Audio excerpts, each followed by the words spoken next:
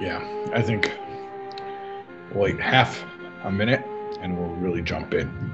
Serious stuff. What's my recipe for chocolate? Can you hear a joke? Yeah, I'll tell you a joke. Someone wrote in the chat they want to hear a joke. Uh, back in Soviet Russia, a guy calls up the KGB. Answer the phone. Hello, KGB. He says, Yeah, KGB. Tell me a joke. So the KGB officer says, Okay, what's your address? He says, tells him his address. And uh, a minute later, there's a knock at the door. He opens the door. KGB standing there. They grab the guy and they take him to prison and they send him to Siberia for 20 years. 20 years later, the guy gets out of jail. he gets on the phone. First day of freedom. He calls up the KGB. KGB answers, Hi, KGB. He says, Yeah, KGB. Tell me a joke. They say, Sure. What's your address? He says, mm, I know that joke already. uh, yeah, yeah.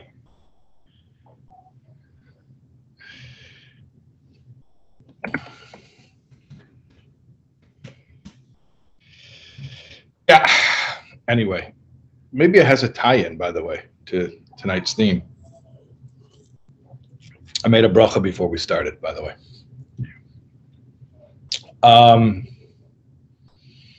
you know, the insanity of doing the same thing over and over again and expecting different results. Maybe that's the the tie-in.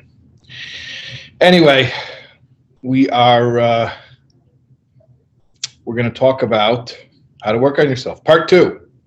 a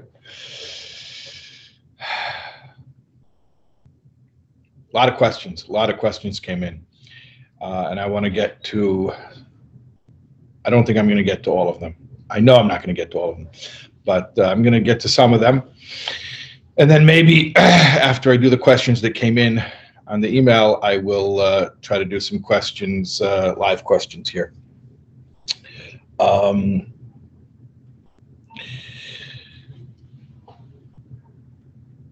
okay, so let's start like this. I'm going to open up a, uh, a document I made for myself here of some of the questions that came in. Um, oh, this was fantastic. Actually, this wasn't even a question. This was just somebody offered me an insight, which I really, really cherish when people offer me insight. Dear Rabbi Taub, last night you shared the parable of the two sober alcoholics. One would drink if told by God, another wouldn't. By the way, it wasn't simply a parable, it was a real thing. I actually saw this conversation. So I, I it's also a, a I guess that there's a lesson to it, but it's not a parable, it's an actual thing. I saw that I, I saw it. Okay. We need to be ready for cha- to change direction as soon as we're told. This is the person writing to me how they're paraphrasing the moral of that story. We need to be ready to change direction as soon as we're told. But if not told, we are to con- continue in our mission. Yes, very good. Yes, I like how you paraphrased the point of that story. And today's daily wisdom of the Rebbe contains, I think, that same message. I think when they say the daily wisdom of the Rebbe, they're referring to a maybe it's an email that goes out. I think that's what it is an email that goes out with some teachings from uh, from the Lubavitcher Rebbe. Okay, and so they included here this teaching from the Rebbe, and it's actually connected to um, the Parsha this week, the, the Torah portion. Okay, uh, it says in English here, it's a translation of Exodus 15:22. Moses had to forcibly make the Israelites set out from the Sea of Reeds. Uh, what's this describing? Basically, after the uh, splitting of the sea, the miracle of the splitting of the sea, so Moshe Rabbeinu, Moses, had to actually, you know, force the Jews. Come on, let's go, giddy up, you know, let's let's move. So here's the Rebbe's teaching that this person sent me. Beautiful.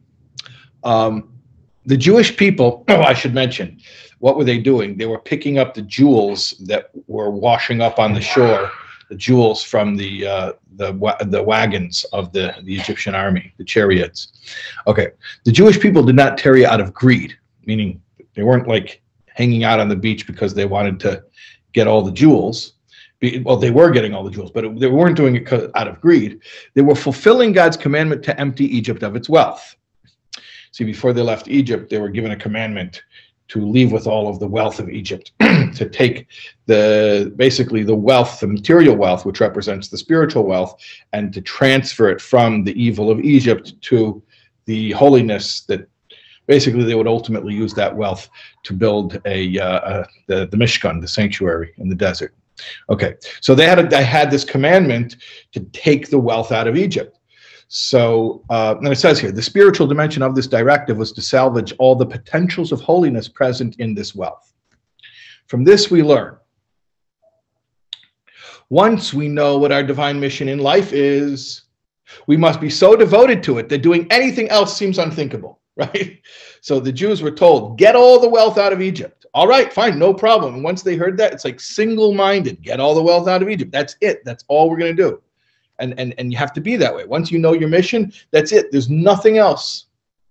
On the other hand get ready for the paradox because everything in judaism is always paradox. Whenever you say is it a or is it b? It's always c right? That's why i'm a gemini. I was born in sivan because and, and the torah was given in sivan because it's always you know the question of uh, you know is it this way or that way? It's both right? That's that's it's always paradox. Or like my uh, ancestor the megala amukes said that uh, the Kabbalist, the Megala Amukes, he said that Moshe is Rosh Tevis Machlekes Shamei Hillel. The name Moshe, Mo- Moses, is an acronym for the disputes of Hillel and Shammai. In other words, the point is that Torah is not. It's not the, the, the fact that we have conflict in, in Torah is not a is not a is not a bug. It's a feature, right? So here comes the paradox. So on one hand, you have a mission. That's it. Anything else is unthinkable. So the Jews were told you have, to, you have to sap Egypt of its wealth. That's it. So that's all we're doing. And they were singularly focused on that. On the other hand, as soon as it, as soon as it is clear that it is time to change direction, we must not hesitate, right? Moshe was telling them, come on, no, we're done with that. I know before we were sapping Egypt of its wealth, but now the time for that's finished. Let's get along. We should apply ourselves to our new mission with the same enthusiasm we gave to our previous mission. Beautiful, beautiful. Um, and I think the person who who sent me that is just beautiful. I think there's so much there to be uh, expounded upon. Um, you know, we were speaking about last night that ultimately self improvement is not something I do for myself. It's something I do for Hashem and I do it to please him. And because I'm doing it for him and for his pleasure. So when you're serving someone for their pleasure, then obviously you're going to serve them what they want. You know, it's like the old joke about the communist is preaching and he says, Comrades, after the revolution, we're all going to have strawberries and cream. And the little Jew says, What if I don't like strawberries and cream? The communist says, after the revolution, you better like strawberries and cream. right? right. So the point is when we're serving Hashem, it's for him. We're giving him what he wants from us. Not what we want to give him, but what he wants to get from us. So um, when we understand that, then we also it, it's that interesting paradox of well if right now while this is the avodah while this is the work i have to be focused on it like there's nothing else in the world and not even a possibility for anything else in the world. And the paradox is at the same time as soon as i get the word change your avodah change your work okay i change it. In other words when i become attached to the service that I'm doing, not only is that just another attachment that I should have shed along with all the other attachments that I've been trying to let go of, it's actually the worst attachment. And I'll tell you why. Because it's got a holy excuse. It's jihad, it's a holy war, right? Because now I've got, uh, presumably in my own mind at least, I have God co signing the fact that I cannot waver from this path. Well, when that's no longer the path, it's time to change and to change gracefully. We spoke about it last night about the Akedah, about Abraham sacrificing Isaac. You know, it was about abandoning your life's work, particularly a, a holy life's work, a life's work dedicated to God, and God wanting to make sure that even though you have been doing something holy and doing something for God your whole life, you're ready to walk away from it when asked to do so. Otherwise, you're proving that you haven't been doing it for God, have you? Right? I mean, I don't want to repeat everything I said last night, but we, we spoke about the fact that Abraham spent his entire life being God's PR man, you know, pumping mon- monotheism.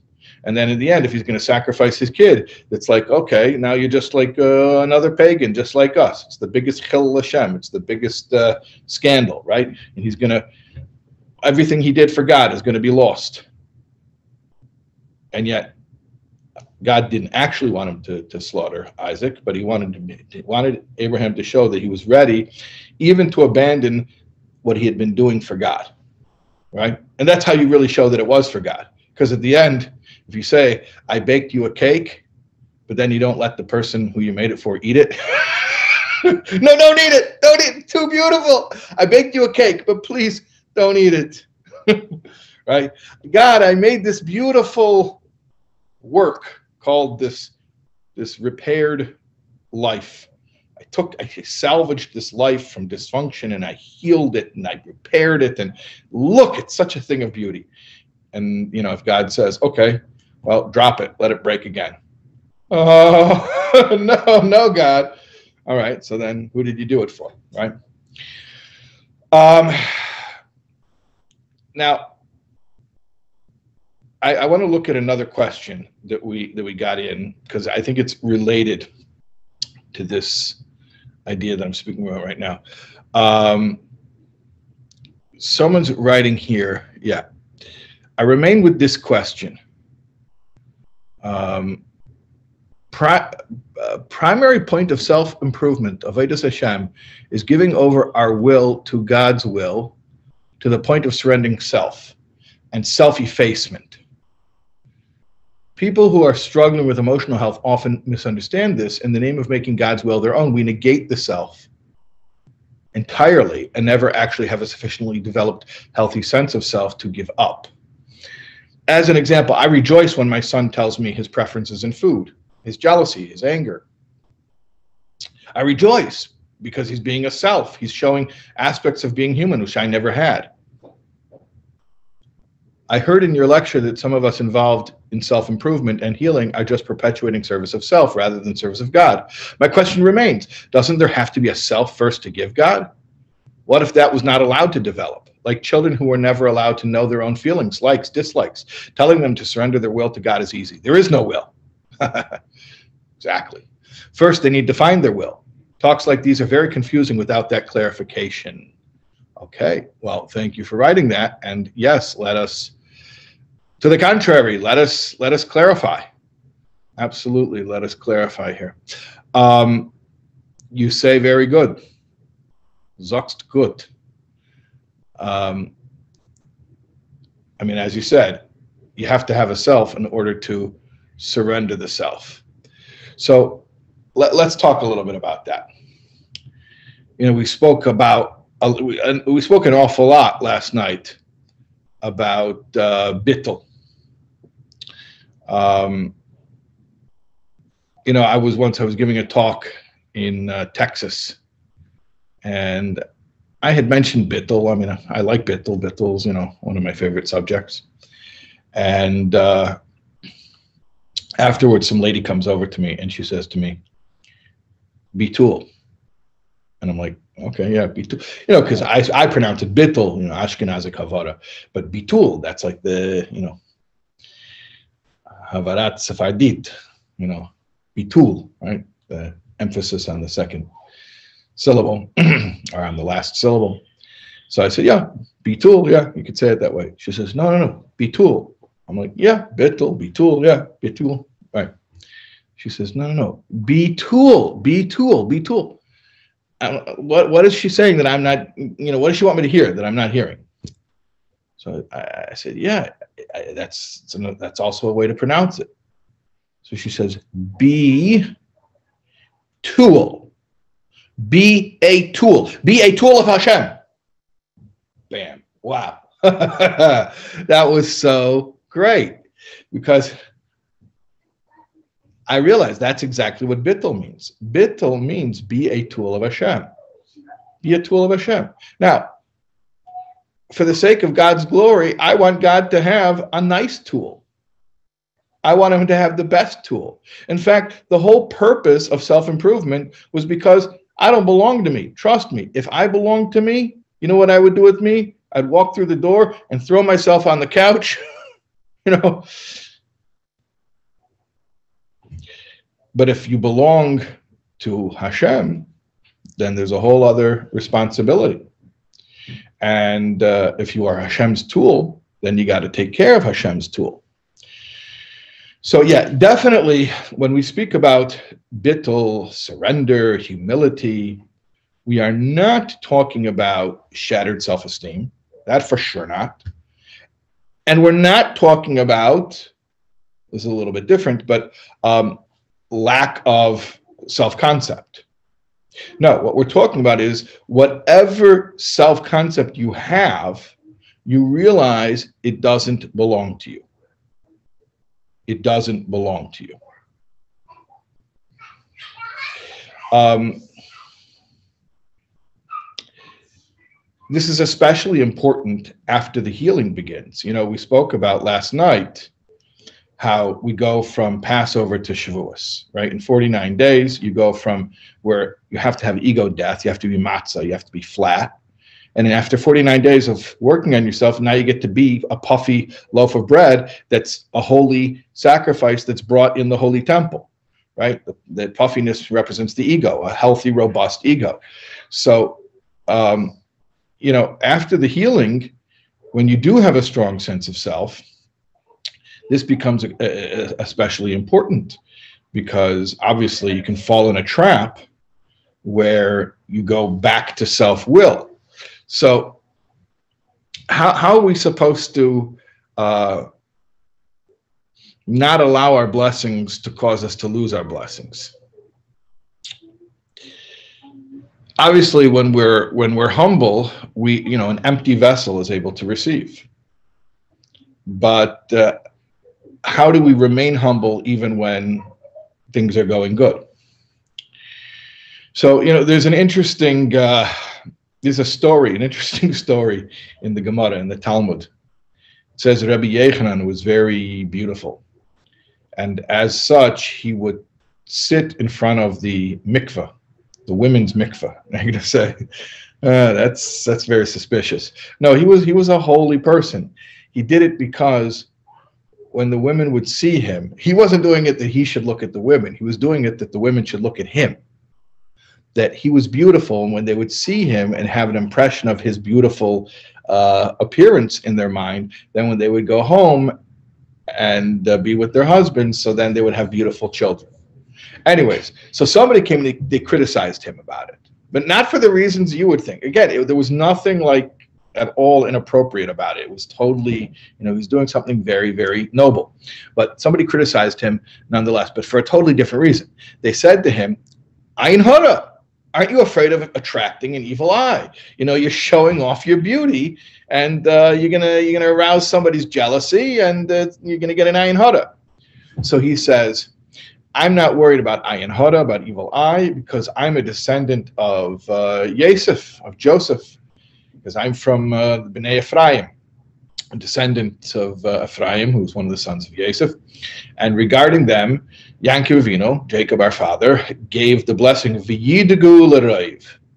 V'yidgu l'raiv means they should multiply like fish. Um, yeah, they should multiply, multiply like fish. So what does it mean they should multiply like fish? Rashi actually even says this in the, in the commentary there on, on, on the verse in uh, Parshas Vayechi at the end of uh, of Sefer Bereshis, the book of uh, Genesis. He says there that uh, the ayin hara doesn't rule over the the fish. So uh, because they're down in the water. So there there are two ways of reading that. Sidis explains there's two ways of reading that. One way of reading that is fish are not harmed by the evil eye. They're immune to the evil eye because they're down in the water. What does that mean? Keep a low profile, right? Keep your head down, don't attract attention, and no evil eye. Like a fish who's hidden under the water. That's one way of understanding it. And, and, and that means that basically, it, let's say you came back from a lot of challenge and you were able to put your life back together for Hashem. Again, we're, we're, we're, emphasizing that we're doing this for Hashem, but you were able to put your life back together and you are seeing blessing in your life and you are seeing success in certain areas. So maybe you need to like be very, very uh, secretive about it because you don't want to, uh, you know, appear arrogant even if you're not, but you don't want to appear it, you don't want to attract attention, and uh, you know you'll you'll draw negative energy. God forbid. That's one inter- interpretation. The other interpretation is no, the fish is immune to the evil eye because he's down in the water. Yeah, that's what we said. No, no, no, because he's down in the water. You get it? No. The fish cannot live out of the water. Like the parable of Rabbi Akiva. Remember when the Romans made it illegal to learn Torah? And Rabbi Akiva continued learning. And someone said, Why are you doing that? You're going to get killed. And he told the parable. He said, You know, once there was a fish and uh, swimming in the water. A fox came along and said, Fish, it's dangerous in the water because the fishermen have their nets spread out to catch you. Come out of the water and come up on dry land with me, the fox says. Right? The fox was trying to catch the fish, trying to con him. So the fish says to the fox, Foolish fox. I mean, they say that you're so clever. You're not. Because you would know that I can't live outside of the water. The water is my life. Yes, I'm in danger here the fishermen have cast their nets. But if I come out of the water, which is the place of my life, I'll be even more danger. And that's what Rabbi Akiva said. Torah is the place of my life. If I come out of that, I'm not going to be in less danger. I'll only be in more danger, right? A fish is in the water. A fish is constantly in the place from whence it derives its life. When you are a fish, a fish means that you realize that you are completely uh, uh, uh, you are completely uh, uh, um,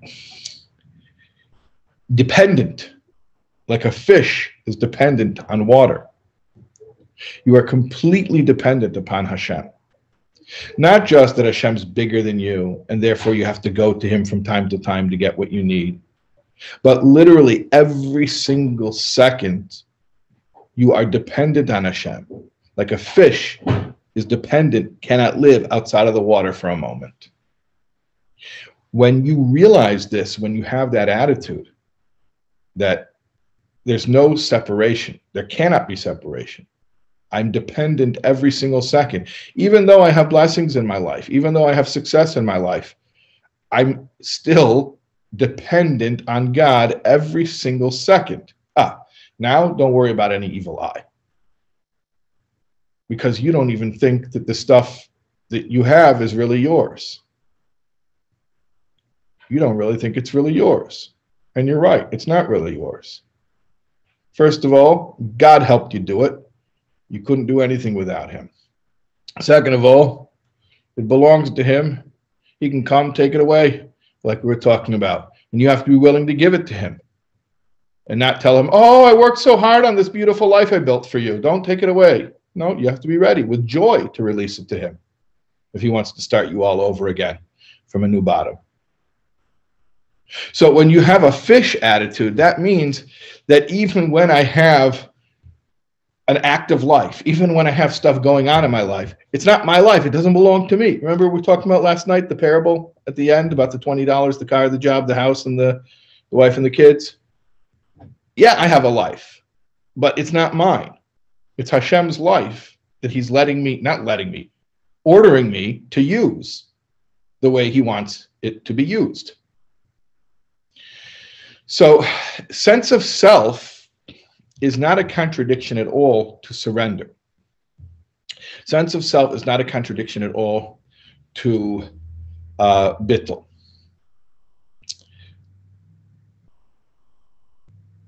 Surrender and Bittul, in fact, are even more enhanced, magnified, the greater sense of self you have because you're giving up more. You are acknowledging that Hashem has this this this this life that is full, that is that is uh, rich, and it's all His. So it's not about being an empty person who has no uh, feelings, who has no preferences, who has no uh, desires. It's about realizing that you don't have autonomous claim to any of it.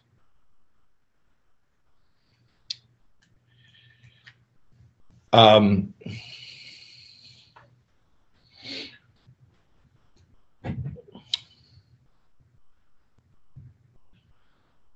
yeah. Yeah. Okay. I was going to mention something else in connection to that idea, but uh, I don't recall what it is. So let's move on. I see questions, many questions that came in, and, and let's see if we can get to them. But I want to continue with the questions that uh, came in from the email. Um, it's on the tip of my tongue what the next thing I wanted to say related to this. Can't remember. Okay. Question that came in, very, very good question. In fact, this question, various iterations of this question, I got several people asking this question, but this is the one that I'm that I'm reading. What would you tell someone who's not at rock bottom but working at changing? It is indeed harder. Um, I've noticed with people that I coach that they do better at changing when they hit rock bottom. Okay. Um, let's talk about that. Let's talk about that. Remember last night I said that bottom is relative. So maybe I didn't elaborate sufficiently, but I said that bottom is a relative uh, term and that no two people have the same objectively the same bottom let me let me elaborate a little bit more. Probably i should have. Because bottom is a relative term therefore not only do no two people have the same bottom but it's not set in stone. It's not a fixed thing what your bottom is going to be. And therefore we can raise the bottom so to speak. We need bottom. We must hit bottom, but bottom can be raised, it can be higher. Bottom just means when I realize I can't do this alone. Bottom just means that it's not that I'm not good enough or smart enough. It's not that I don't care enough. It's not that I'm not a decent person. I'm all of those things and, and more. And none of it is sufficient. I cannot do this thing. Now, if your life falls apart, then it's pretty clear. Then it's pretty clear. Although, I know plenty of people whose lives fell apart multiple times, and we're still, uh, you know, trying to, uh, you know, trying another, uh, another scheme how to insist that their life was not yet unmanageable. But at any rate, be,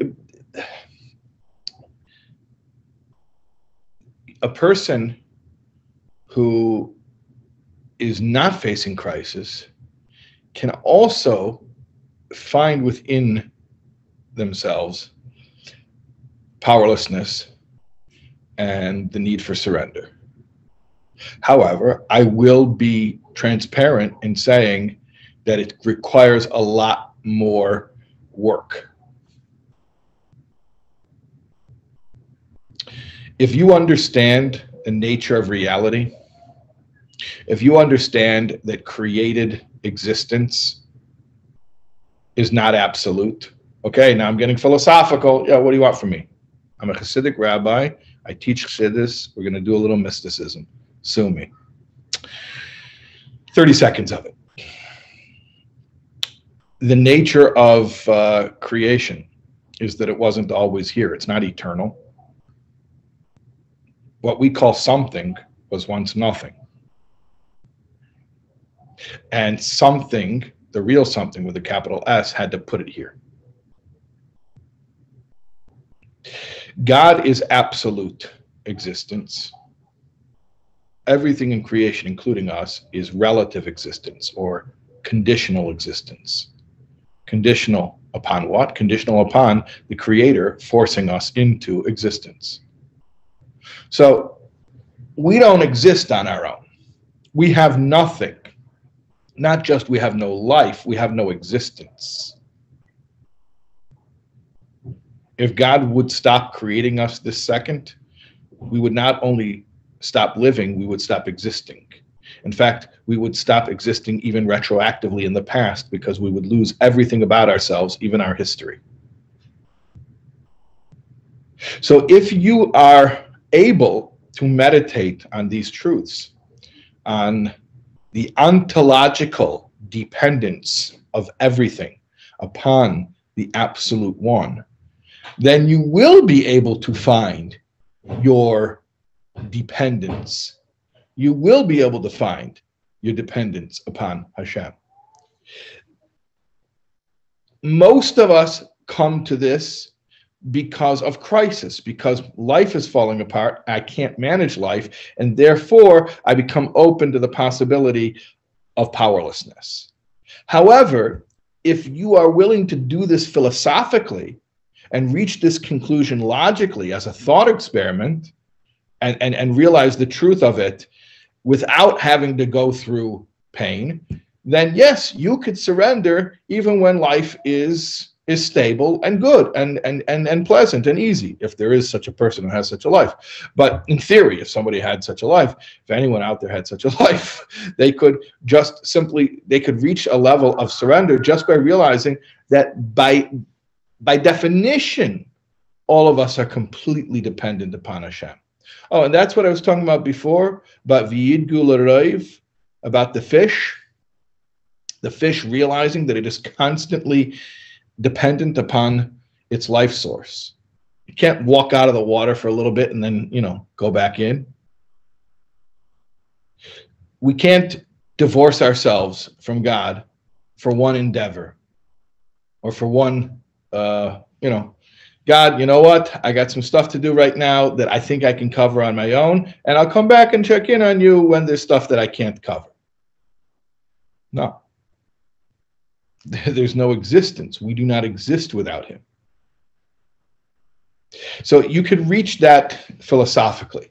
It's just obviously um, much more, much more difficult. Um, let's look at another. Okay. I was at a Frum 12 step group. I'm, but I'm going to give commentary, and I'm going to assume that means a 12 step group where there's a lot of Frum people. Okay. I was at a Frum 12 step group. By the way, Frum 12 step groups, some of them are great, but a lot of them, nobody can get past the first three steps because the first three, three steps are about God. And all these people with yeshiva training, they just, they go in circles with their, you know, yeshiva arguments about God. It's like, I, I, tell frum people a lot of times, like, please just keep it simple. You know, don't, don't, don't tell me what you heard about God in yeshiva. Obviously, it wasn't working. You know. Okay. I was at a Frum 12 step group, and after a woman shared, after reading, a woman shared, I'm not powerless over my actions, just over my thoughts and feelings. Okay so basically she was saying something like to um, so I don't want to say against the program because I'm not like here to be the police, but uh, she was she was qualifying the fact that look, program is about powerlessness, right? We admitted we were powerless. That's the first step.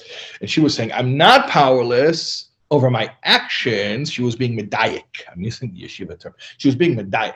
I with the thumb. I'm not powerless over my actions, just over my thoughts and feelings. Okay. She was parroting what we were all taught. All the other women continued in her way, meaning they were like, cool, that's I like that. I'm gonna I'm gonna say that too. Then one brave woman said, I do feel powerless over my actions. And I surrendered to God this woman personified to me what goodness lies in the 12 steps and how my own healing can move forward if I truly surrender my dysfunction and issues to God instead of sitting in self blame and self hate at my dysfunction and my issues. But of course, I also wonder if this is the truth and how it fits with from education. Okay. So basically, your experience tells you this is true, but your Torah learning doesn't necessarily, you can't find sources for it to back it up. Um, so you want to talk about that.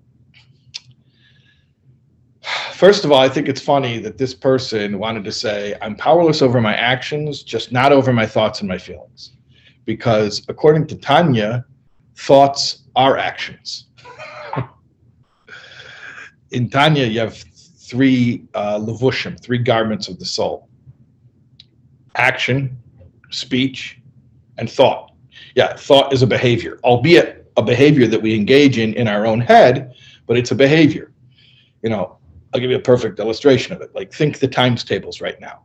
Go ahead, think the times tables. You don't have to do fancy ones like 11 times 12. Nobody can hear you. Just think it. Okay, fine. You're doing it right now? Okay, good. All right. I feel like Dora the Explorer. anyway, um, so were you thinking the times tables just uh, 10 seconds ago when I told you to do it? Yeah. Okay, good. Were you thinking the times tables 10 minutes ago? No? But did you know the times tables 10 minutes ago? Yeah, you probably knew them 10 years ago. And that's my point that thought is a behavior. It's something that has a beginning, it has an end, a duration, it's an activity. You start and you stop. Um, and by the way, not to seize upon words, but when I said, Are you doing it? Are you doing it? I used the word doing to describe thinking, and you were comfortable with that because thought is a behavior. So if she wants to say and be medayek, I'm only powerless over my actions, but not my thoughts and feelings, I would say, well, according to Tanya, your, your thoughts are actions. And whatever responsibility you have over your actions, you have the same responsibility over your thoughts. Okay, now I'm making trouble. But sometimes we do that. We make the question even bigger before we answer.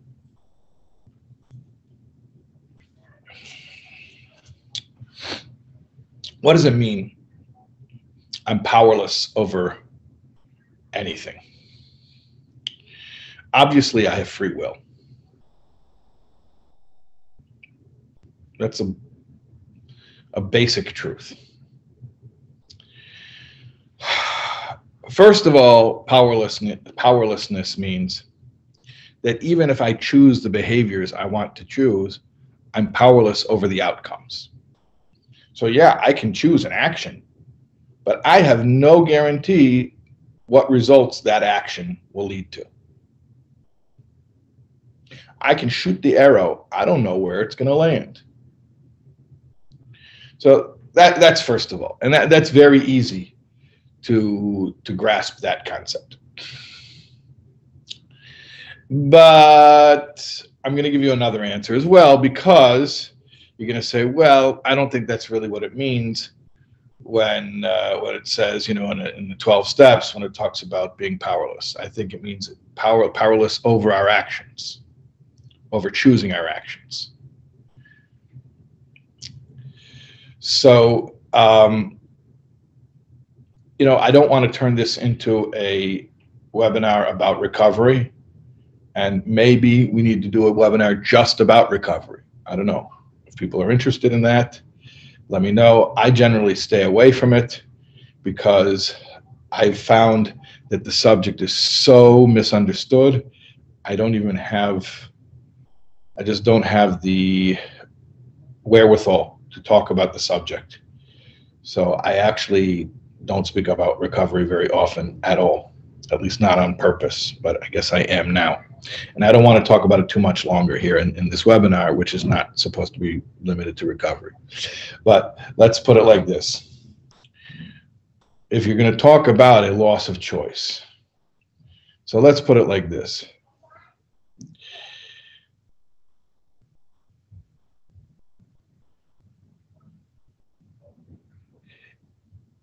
Powerlessness, as far as um, you know, a first step admission of powerlessness can mean a couple of things. In addition to what I said before, that we don't control outcomes, it can mean that once I begin to, let's use the example of drinking because the first 12 step program was AA okay? But it could be anything. Once i eat my trigger foods once i start lusting right? Whatever it is once i make a bet now i have unleashed something that is going to have its way with me. So my powerlessness actually followed a choice. In fact, it was the result of a choice. I chose to think that I can drink or lust or bet or eat my trigger foods with impunity, like a gentleman, in moderation. And that part was the choice. But then after I did it, I lost choice. Like I once heard an old timer say, go eat a, a, bottle of Ex-Lax and then will yourself not to run to the bathroom, right? Has nothing to do with free choice. But another way to explain it, yet another way, the powerlessness, is that um, it's practical powerlessness. It's practice it, it's effective powerlessness. In other words that if i don't keep myself spiritually fit if i'm spiritually sick then i do not have access to my power of choice right? So if i allow myself to become spiritually sick and i allow the obsession of the mind to overtake me so I'm obviously not going to be making good choices. So in effect, it's as if I have lost my power of choice. That's another way of explaining it. But now I've given you three ways of explaining powerlessness, which uh, I think are suitable for any uh, religious Jew. And I also think they're true and in line with, with the program. Okay. Um, so that's that. Still have more questions. Many, many more questions here to go through. And new questions are coming in as we speak. And I apologize. There are texts here are not text chats. There's chats and there's questions. And there's two places where I have to look where there's comments coming in. Um, I just can't keep up. Sorry about that. Um, let me let me move on to something else I want to talk about. Um, actually, it was a question. This is also a question. Let me go to that. Where is it? Where is it? Okay, there it is in the healing world, there's a talk of embracing the shadow self and finding the good there. In trying to understand this within the realm of Torah, I wonder if this is parallel to converting the Yetzer Hara to the Yetzer Tov. Is there a limit to how much of the shadow side we can embrace? is my embracing all is my embracing of of all of it problematic? Do we take the concept of kodesh and choil, which I'll translate kodesh means holy, choil means profane. Do I take the concept of kodesh and choil to mean some shadow parts are not embraceable, meaning they are profane and therefore off limits? Okay, that's a wonderful question. Now, I am going to perhaps surprise you by telling you that I've heard people use this term, but I know nothing about it. Uh, I know everybody thinks that I know all the secular stuff, and I don't. I, I, I really don't. My knowledge of psychology, of secular psychology, is I've said this before in public, it, it, it, and I've, I've been so open about it. Anyone who doesn't get it yet is just, you know, like my knowledge of secular psychology is limited to whatever books my father's Olga Zunstein had lying around the house when I was a kid. Okay, that's that's my extent of my knowledge. However, you're asking me about you know the shadow self in uh, you know in Torah and is it compatible with Torah? So I'll tell you a story about the shadow self, Hasidic story, and a Hasidic explanation as well. It's all about the shadow self. Uh, the and this is a story that the Frierdiker Rebbe, the previous Lubavitcher Rebbe, told in a sikha, and then the Rebbe repeated this, the same story, and, and analyzed it. And I'll give you a little bit of the Rebbe's analysis of the story. The story was about the third Rebbe, the Tzemach Tzedek. Oh, here we go. See there? One second. There. See there. This picture, the, the Rebbe wearing white, right there over my shoulder. Where? Where? That's the Tzemach Tzedek. Okay. So the story is like this. The Tzemach Tzedek used to uh, say a mimer, a Hasidic discourse, specifically for working men, simple Jews, not scholars. I mean, the Tzemach Tzedek would, would also say discourses to, to the scholars as well. But he had a special thing where on the market day, when all the merchants would come to town for the market, he would meet in the shul and he would give them a discourse before dawn. Why before dawn? Because as soon as the sun comes up, you got to get to the market. You got to sell. You know, if you don't merchandise at dawn, someone else is going to sell it, and uh, you know you're going to be out of luck all day. So it was very interesting. You can imagine this this uh, you know, it's before dawn. Shul is full of these working guys who got up before dawn, simple Jews who are ready to work. And the Tzemach Tzedek is saying Chassidus just for them. Just a striking image. Anyways, that's not even what the story is about. The story is that the, the Tzemach was saying the Maimer, the discourse, and there was a chayzer. A chayzer is the like the oral scribe. He's the one who memorizes what the Rebbe said and then writes it down later so that uh, we can have it preserved. So the Tzemach Tzedek scribe in this case was a chassid by the name of Rashbatz. Rashbatz is an acronym for Reb Shmuel Betzalel.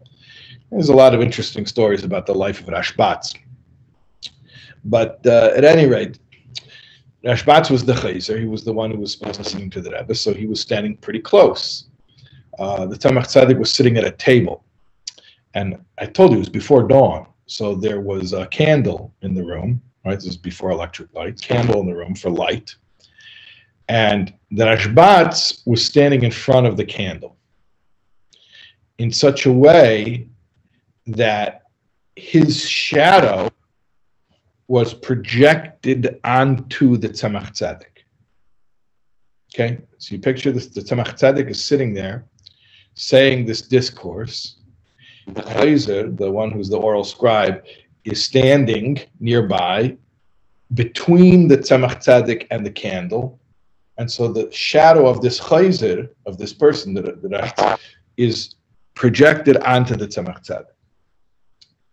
So at that moment, Rashbatz said that he thought to himself that uh, I should probably move because uh, I'm putting a shadow on the Rebbe.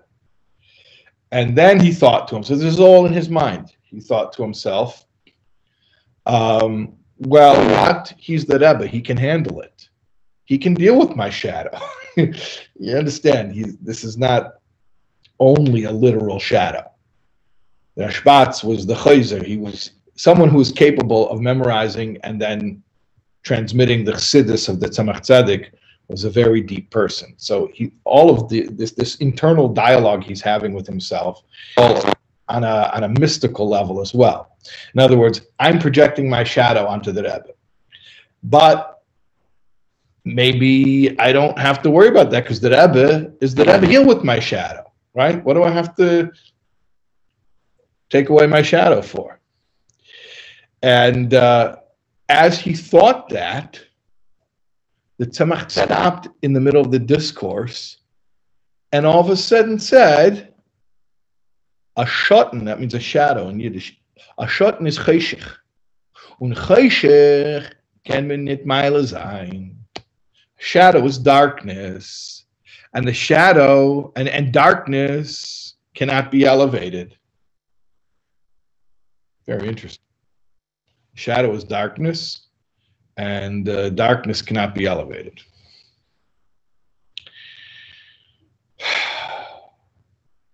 It's a it's a cryptic. What does it mean? Darkness cannot be elevated. I mean, the question that was written here, whoever wrote in the question, they said, "Is this what's meant by transforming the Yetzer Hara into the Yetzer Tov, and you know the inclination being transformed into the to the good inclination?" And yeah, there is such a concept. Obviously, we know that we can transform the darkness, or the idea of of of Nasale right? That of sin, even his willful sin, that he did it on purpose and he enjoyed it, right? But later on, when he does real tshuva, real, real, real return, you know, out of the depths of his heart and out of love for God, not only can he erase that past, but better than erasing it, he can turn that darkness into light. He can turn that negativity into a springboard for extra sensitivity and extra vigilance relationship with God. So clearly there's an idea of what we call ishapcha, of transformation of, of darkness to light. So what was the Tzemach Tzedek saying that a shotnus cheshich and cheshich coming in mile Shadow is dark, and you can't you can't elevate dark. So remember before that everything's paradox, right? That's why I told you I'm a Gemini. I was born in the third month, in the month of Sivan, the month of the twins. Everything is paradox in Torah. Is it this or is it this? You need a third hand because it's this. There are two ways of looking at Cheshech. Um, it's actually a, a, discussion, a philosophical discussion in, in Judaism, in the classic uh, sources. Is darkness a creation just like light is a creation? Or is darkness merely the absence of the creation called light?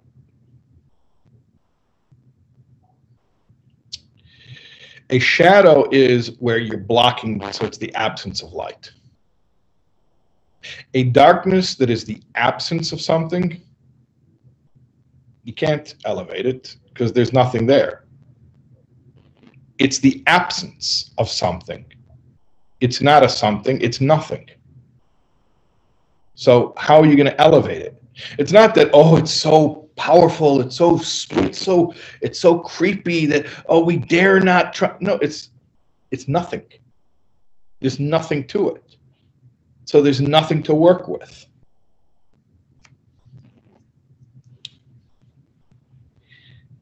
Then there's another way of looking at darkness, which is darkness is something. It is an entity. It's darkness. It's a thing called darkness. And that we can elevate. What does that mean?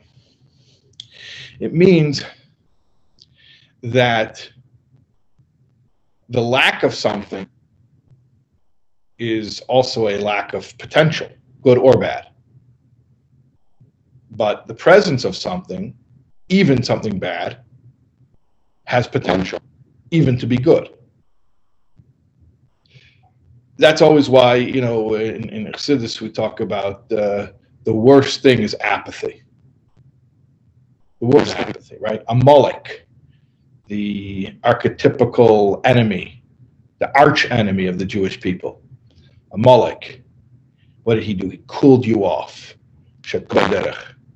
Cooled you off on the way. Coming out of Egypt when you were victorious, triumphant, he cooled you off. He cooled your ardor.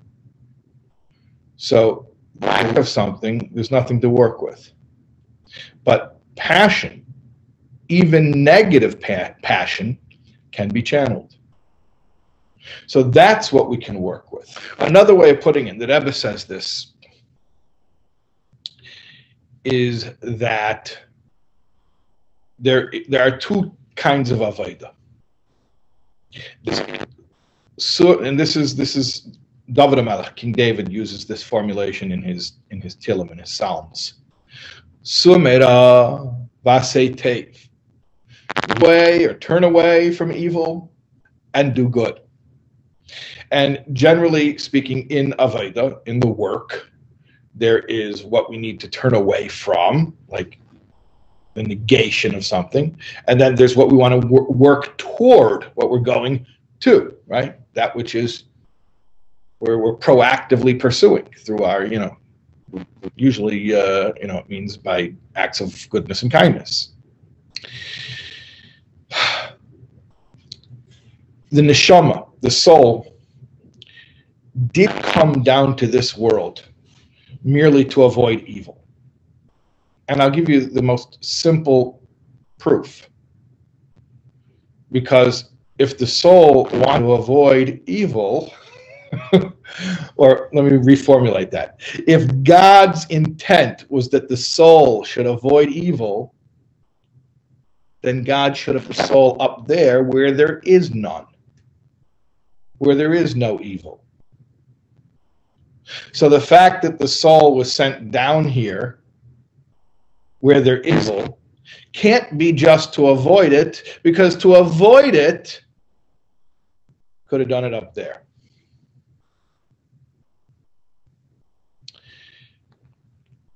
What the soul was sent down here for is not sumera, but asay not the negation of negativity, that sounds like a double negative. But the uh, pursuit of positivity. Oh, so then why is there negativity? Why? This is what the Rebbe explains.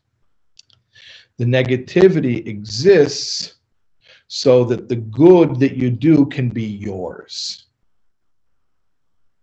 That it can be yours when Hashem gets your mitzvahs, he wants them to be your mitzvahs that you're giving to him, not his mitzvahs that he's giving to himself.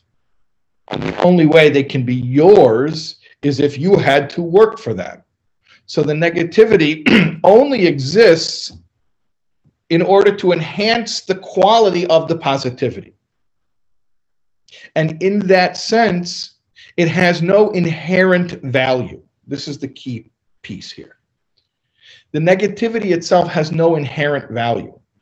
It, it's only there to enhance the value of the positivity by making positivity something you have to work harder to attain.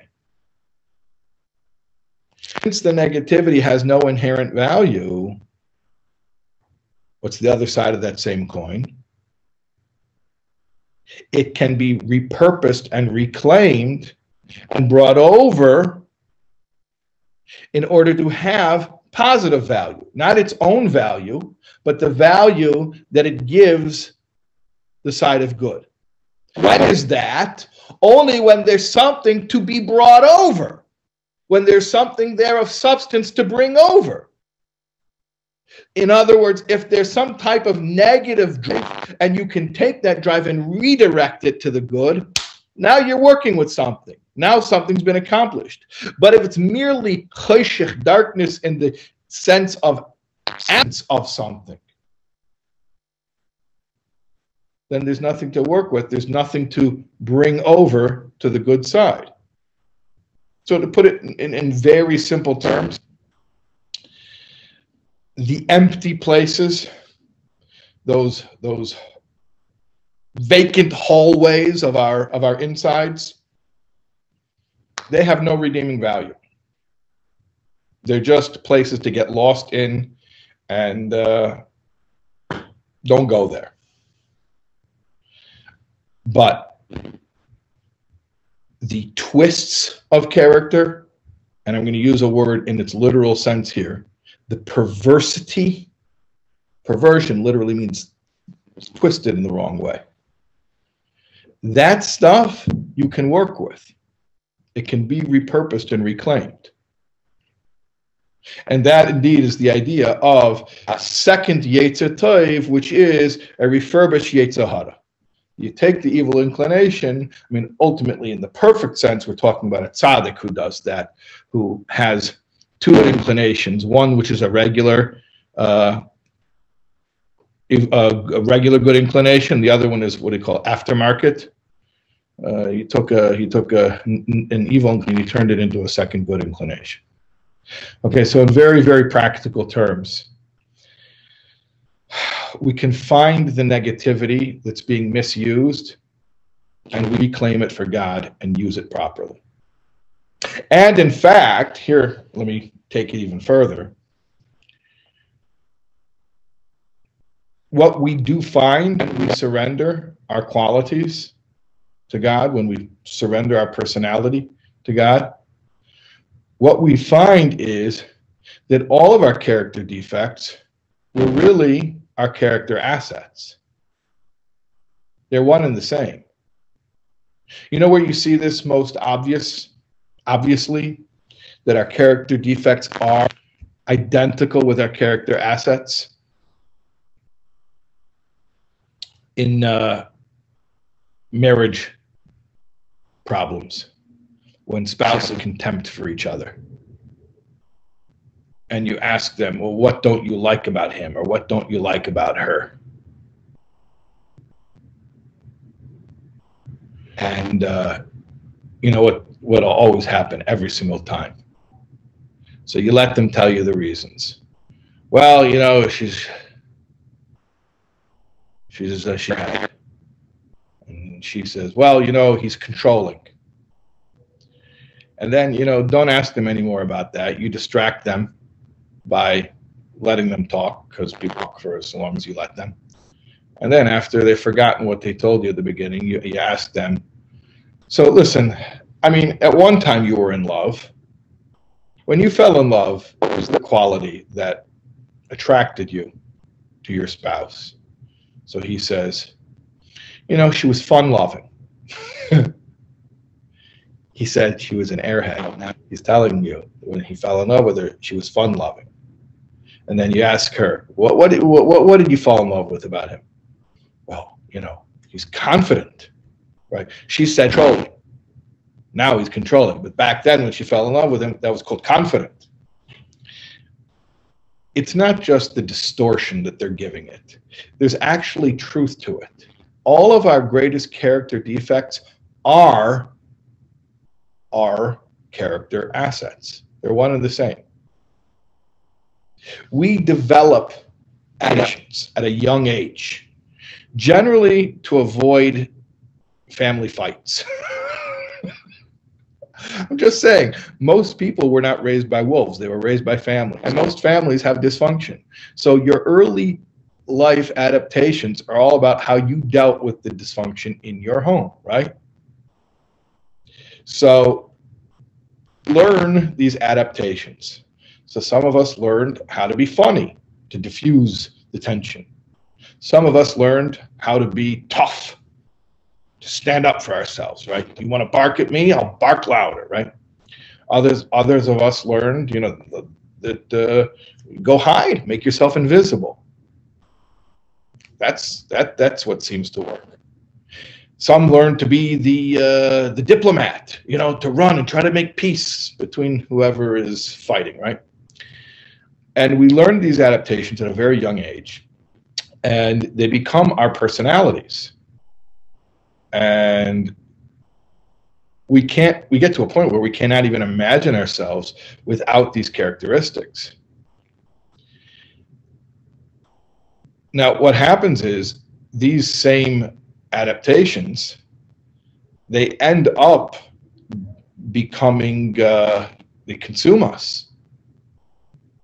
And in fact we were talking about, about free will before in a certain way, they kind of diminish free will. I don't, I don't mean on a, on a philosophical level that they take Bechira away. But what I mean is, look, when you get really used to using certain tools, or even one tool, you know, when you have a toolkit for living with one or two or three tools in your toolkit, right? You only have a few songs in your repertoire. So it's not that you don't have the choice to do something out of the box, something different than your repertoire, but it's highly unlikely because this is what I do.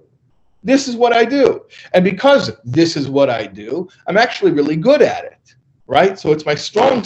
Also, because this is what I do, it becomes my undoing. It becomes that thing that drives people away from me. It becomes that thing that that, that consumes and, and, and takes on you know a, a life of its own and, and, and it drives a wedge between me and other people. But it's one quality. When we heal and we surrender and we give up our personalities What that means is I am willing. Let's say my adaptation is being funny. I'm willing to be naked. My humor was my armor. But you know what? That armor is now causing damage in my life. It's a blockage from relationships. I need to surrender it. And I'm accepting now in this act of surrender that if God never wants me to make another joke, again, I accept that I'm naked. I don't have my armor anymore. I don't have my adaptation. I'm giving it up. And you have to be sincere about that surrender. Like the parable last night about the guy giving up the, the $20, the car, the job, the house, the wife, the kids. What happens is that once you've given it up and it's not yours anymore, well, if it's not yours, who are you to say how it's to be used? Maybe God it back in your lap and say, now I want you to use it for me. What are you supposed to tell God? God, please, that's my trigger. No, no, that's not your trigger. Doing it as an adaptation, doing it as a defense mechanism, doing it as a compulsion or as a habit, doing it because you think that's what you need to do in order to survive, that's the trigger. But now that you've realized you can give it up and you won't die, I can give up this quality, my go to thing, my go to thing. I'm giving it up and I'm not going to die because God is taking care of me, not me. I don't take care of me, God takes care of me. And now God says, Hey, you know that? You're pretty good at being funny. Now do it for me.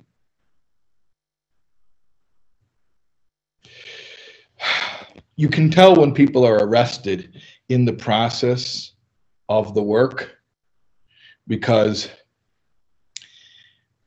they've realized that all the stuff they have needs to go. They need to give it up, but they haven't yet received it back in a healthy form. When do you know that you really have done the work? When you're able to go back to those same character traits and use them in a sober way, in a healthy way.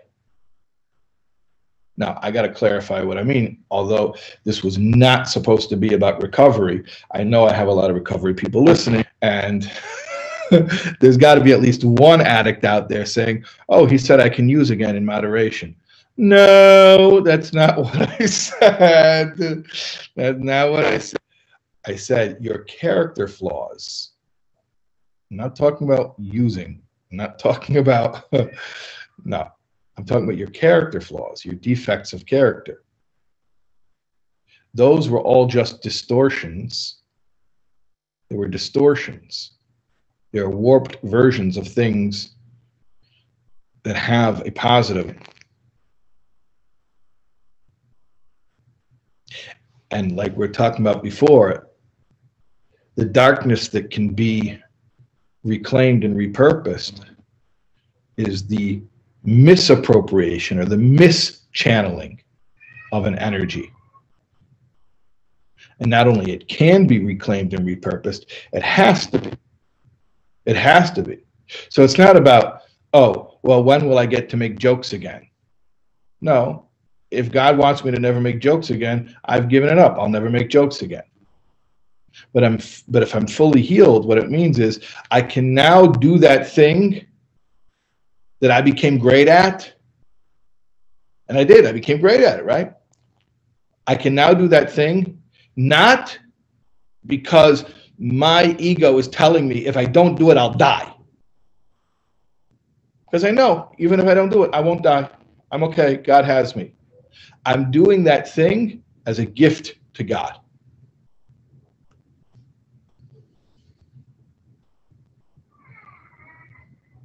So the same behavior,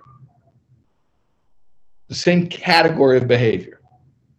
You know, I gave the example of making jokes. Fill in the blank, whatever it is that you do. Whatever it is that you do. I said different examples of ways that kids avoid family fights.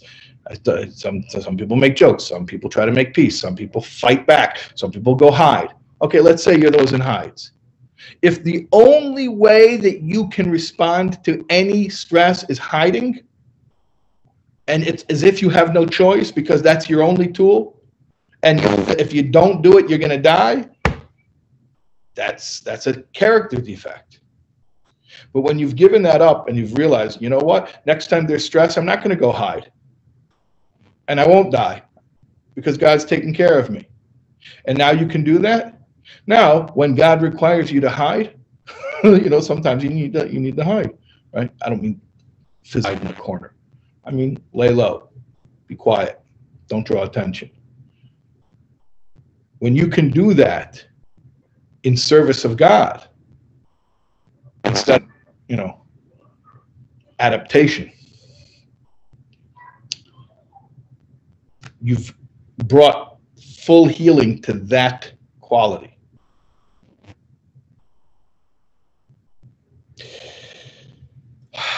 Okay. I want to talk about I want to talk about a lot of other things.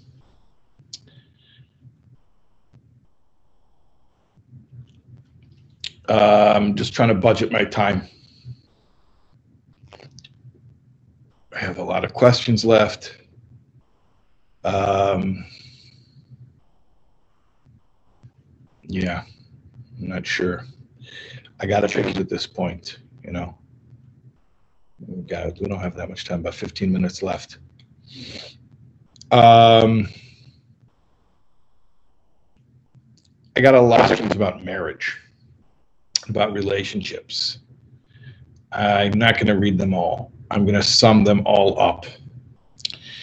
I got various different uh, variation marriage questions, bad marriage, uh, currently bad or people who were in a bad marriage they're out of it but they don't know if they're healed enough to, to get remarried and okay. So let, let's let's talk a little bit about this.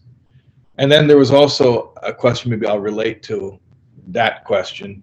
Somebody wrote in and asked about you know last night i said that wherever you're feeling pain that's where you need to pay attention to your own ego and you know reel it back in reduce it well, what if somebody's mistreating you, you know, on them, right? Like, what if you're in a prolonged relationship where you're you're continuously exposed to this mistreatment? So the pain is, is that a reflection on you? Maybe it's reflection on.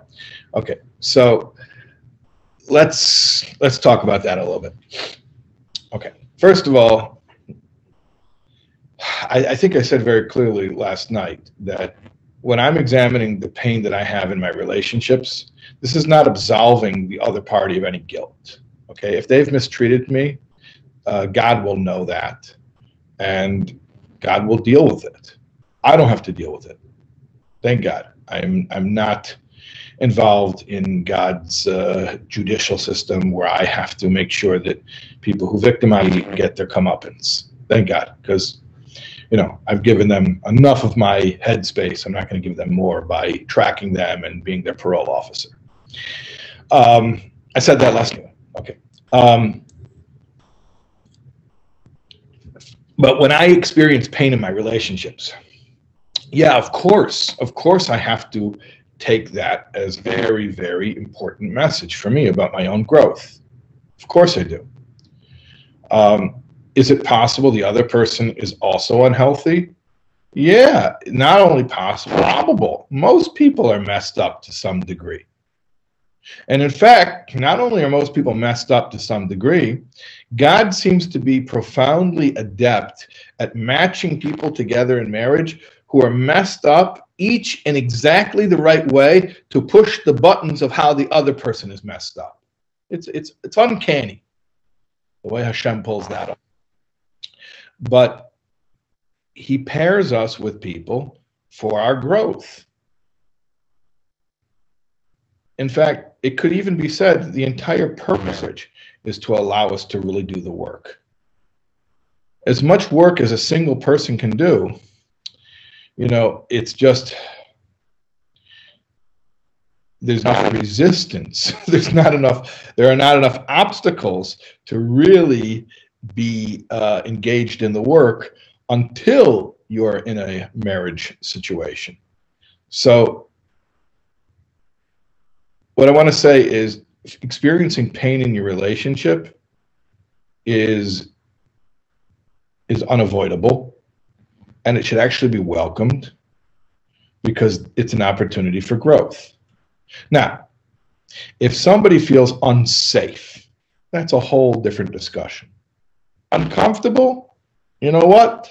I wouldn't tell anybody that they should avoid any amount of discomfort, even profound discomfort. Now, maybe somebody would make a choice that they're in a marriage that's so profoundly uncomfortable that they can't take it anymore, and they just they decide to leave. And and again, I wouldn't judge them for that either. But if somebody told me, "Look, it's really uncomfortable, but I'm embracing the discomfort," I would say, go for it. Sounds like incredible growth. However, if someone says they're unsafe, that's a different discussion. And you know, if you're unsafe, that doesn't just mean physical abuse. That that means all types of uh, lack of security, and uh, you know that's a different discussion. And I and I, and I wouldn't subject us to a lack of safety. And, and I'll tell you very simply why, because look, we're all, all of this growth is for Hashem. We're doing this all for Hashem. So if you're uncomfortable, you'll grow more for Hashem. But if you're unsafe, now you're jeopardizing, you're putting at risk Hashem's asset. You're not really allowed to do that. Um, now, I want to go into another aspect of working on ourselves in terms of relationships. Okay. And this could be another whole webinar. So we could do a whole recovery webinar. We could do a whole webinar. Well, we, I mean, about about relationships. Let me make it very clear, and especially because I, I, I have less than 10 minutes here. What I'm going to speak about right, right now is not about relationships. It's about how to work on yourself, which is the name of this webinar, this webinar, working yourself. However, I'm going to speak about the aspect of working on yourself, which involves relationships. Okay. So I'm, I'm not talking about relationships. I'm talking about working on yourself, but I'm speaking about aspect of working on yourself, which involves relationships. Here it is. And in fact, this is one of the questions that I got. I'm going to paraphrase because I don't have time to go look up the questions because uh, I want to end on time one of the questions was, well, you're talking so much about uh, bittul, bittul, bittul, about surrender and selflessness, humility. Uh, what about becoming a doormat? Right? What about becoming a doormat and and being, you know, inviting, you know, abuse or mistreatment? So uh, Someone wrote in the in the chat, webinar on trauma and healing. Yeah, I'll get to the list. Yes, webinar on trauma, webinar on relationships, webinar on recovery. Okay, God willing, we'll see. All right. So, uh, what were we talking about? Yeah, being mistreated. You see a lot of times people who um, they get to they they feel like you know my character defect that I need to work on is people pleasing. I'm a people pleaser. And so therefore what they do they say, well, my healing therefore is to become a jerk. And some of them even say that, like with without irony. They say, my healing, become a jerk. And they relish saying no for no good reason. It's like they get a little hit from that, you know, like almost like bureaucrats, you know, who like relish not being able to accept your form. Like they're happier when you didn't fill out the form properly than when you did, right? And and and there's no way to tell me that that's that itself is not just that same character defect flipped on its head. Because it is. people pleasing is not a twist of character or a perversion of character because because you're doing nice things for people. That's not what makes it toxic. What makes it toxic actually and this is what we are talking about before about the character defects, which are adaptations, which are also our strong suits, we, we surrender to God, but then we get them back, and then we can use them not as a compulsion or defense mechanism or survival uh, skill. We use them at you know with, uh, from our own free will as gifts to God. All right. The people pleaser the problem is not that they're doing nice things. The problem is the compulsion. They feel that they have to, and I'm not using compulsion in a clinical sense, and I don't use any words in any clinical sense. I'm not a clinician. But they feel they have to do the people pleasing. They have to be kind, or they will die. Because if I don't get validation, I will die. And I have to get validation. And this is how I do it.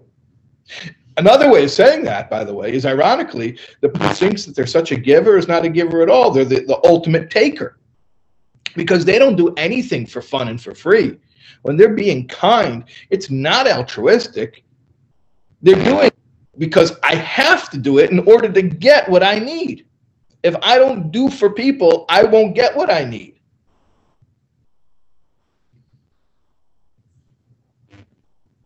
God won't take care of me. I'm on my own over here. And my only skill for living is ingratiating myself with people and getting them to like me. And that's what I got to do, or I'll die. So the the cure, the healing looks like this. When somebody asks me something nice, I can do it from my free will. I can choose it. I don't have to say no to prove that I'm able to say no. I, it's not that doing nice things is a trigger for me, is toxic for me. No, in fact, do it nice, but really do it nice, meaning absolutely no expectation of reward. The toxic part of it wasn't the kindness. The toxic part of it was actually the misappropriation of kindness, manipulatively using kindness as a way of hoping to get your own needs met through other people. But now that our needs are no longer being met through other people, are only being met by God, and whatever I get from Him is all I need. Now I get to receive back my kindness, which I'm probably pretty good at. I'm probably put, pretty good at being kind. If um, at, I mean, if for 20, 30, 40, 50 years I developed the skill of doing it, albeit in a sick way, but I developed a skill at it, I'm probably pretty good at it. When I'm no longer unhealthy, meaning when I'm no longer self seeking and doing this as a way getting a payoff, because I don't look for payoffs from people anymore. I'm only looking to serve. I'm only looking to be useful to my maker and to treat his kids right. So I not get to be kind again, I have to be kind again. I have to be kind. That's one of my ways of serving God.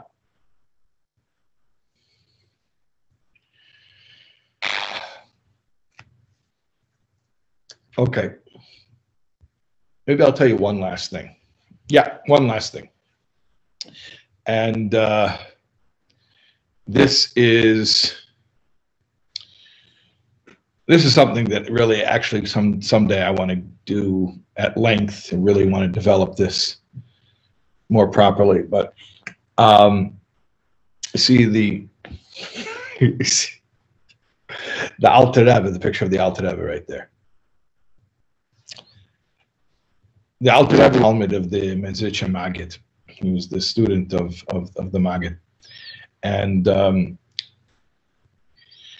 so this was in the mid 1700s, late 1700s. There was something called the Siebenjähriger Krieg, the Seven Year War. Seven Year War was a world war because it was fought by all the uh, empires of Europe uh, Austria and uh, Prussia and Russia and Spain and England and France. They were all involved in this, and they all had colonies all over the world.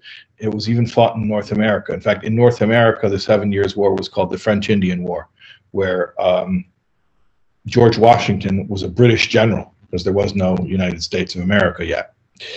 Um, so, anyways, there was this thing called the Seven Years' War, and it had just happened when I came to Mezrich. The Mezrich Maggid had a son named Rebbe Avram. They called him the Malach. And it was Rebbe Avram told the Rebbe that Teres Baal Shem Tov, Baal Shem Tov's derech and avodah, his, his method of, of serving God, was revealed to the world through the battle plan of Frederick the Great at the Battle of Leuthen. Yes, I'm going to say that again. The Maggid's son, Rebbe Avram, told the Alter Rebbe Tanya that the path of the Baal Shem Tov was revealed to the world through the battle plan of Frederick the Great of Prussia in the Battle of Leuthen. L E U T H E N. Yeah, Leuthen. L E U T H E N. You can go Google it what happened at the Battle of Leuthen. So actually, there is a um, there's a document from Hillel Paritcher, the Chassid, who explains it a little bit more. And uh, I actually, based on this uh, this manuscript from Hillel Paritcher, I called a professor of military history point to check this and have it explained to me. What did Frederick the Great do differently at Leuthen, which is still studied at military academies to this day? The old way of fighting, the way that they fought in, in those days, talking about 1700s, is you would have the battle line, and then imagine like a football game with a line of scrimmage, and you have two teams just lining up facing each other, mano a mano, you know, just like literally one across from the other. And take their muskets and they would shoot. Boom, boom. They would just shoot straight at each other, straight across. Boom. Frederick, what he did is he took his whole army and he converged on one segment of the Austrians at a time. So, what does this mean? It means the old way of working on ourselves was like two guys shooting at the battle line at each other. If I have a problem in this area, so I counteract it with the holy version of that, right? So if I have a, a, a, a, a, a foreign love, you know, attraction to things of this world, So what do I do? I try to directly overpower it by cultivating a love for God. Or if I have, you know, uh, fear, you know, fear of things of this world. So I try to directly counteract it with a fear of God. And you just take whatever it is and you just hit it with the opposite. Two guys shooting across the battle line at each other. Bam, bam, bam, bam, bam. Okay. But when you take your whole army and you gang them up, you pile them up, what is that? That's holistic healing. Instead of just countering dysfunctional with holy chesed or dysfunctional gvura with holy gvura. Now you take all your 10 soul powers, you all of you from from from Chochma bin Das down to Gvura Tiferes Netzach Yisoid and Malchus, and you ignite them all with a passion to Hashem. And then automatically you take care of the bad guy. Rather than focusing on the problem and feeding into it, just focus on growing the overall connectedness to God, and automatically the problems will be consumed and all away, or ideally be transformed, be converted over to good. So we don't we we don't spend an awful lot of time focusing on what's wrong and then targeting it and trying to work on it because what happens is we get drawn into it and focus and then we end up you know they, say if you wrestle with a filthy person even if you win you're, you're covered in filth. So we don't do that. Rather what we do is we lift up our all of our soul powers. We refine ourselves, we elevate ourselves by connecting ourselves to God through thinking of God first, being obsessed with our connection with God. And then, without even having to focus on the character flaws, they start to fall away.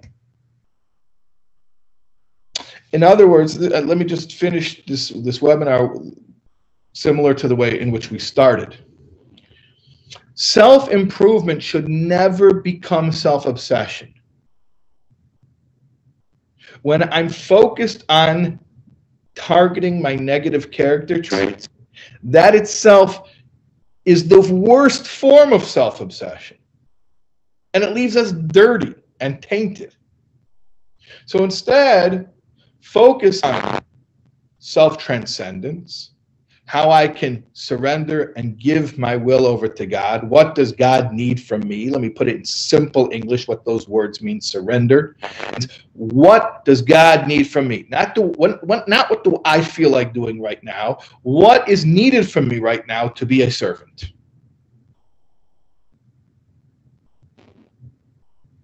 And when I'm focused on that wholeheartedly, the negativity falls away without having to feed into it, without having to give it attention.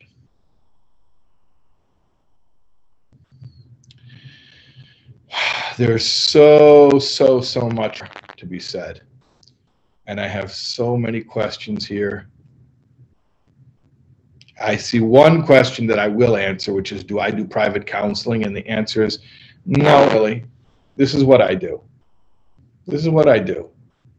Um, if anybody needs to reach me for any reason, I mean, you can contact info at soulwords.org, email info at soulwords.org. And I do have time, I make time every week where I take calls from whoever wants to call and talk about whatever.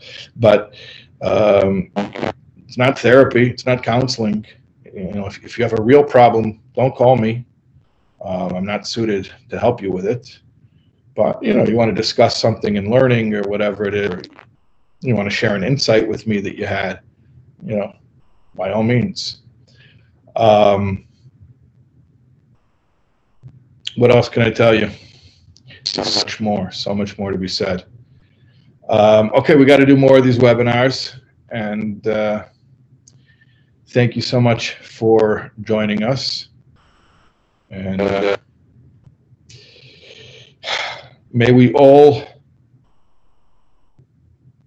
be able to have a little bit of nachas from this project, this ongoing project that we're engaged in of presenting our best selves